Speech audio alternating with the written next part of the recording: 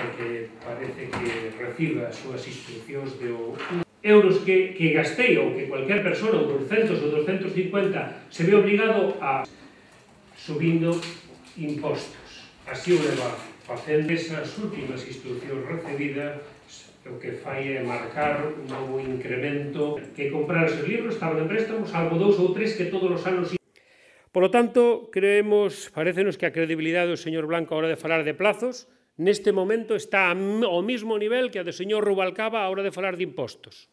Exactamente ao mismo nivel. O que sí temos tamén perfectamente claro é que a obligación do presidente da Xunta, a obligación do señor Núñez Feijó era acadar en Madrid a mellor data posible para acabar as infraestructuras galegas, para acadar o AVE. Non é entendible que un presidente autonómico pudera ir a Madrid a defender que se postergaran fechas de remate de unha infraestructura clave para nós, clave para Galicia. Dicir, solo faltaría que o presidente da Xunta fora a Madrid a conceder máis retrasos dos necesarios. Xa se lle perdonou dúas veces ao partido e aos dirigentes socialistas. Non lle podemos perdonar unha terceira vez. Nos considerábamos que 2015 era posible.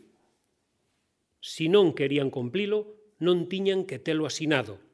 E posto que o asinou, o que ten que facer é poñer o diñeiro e facer posible que o AVE chegue a Galicia.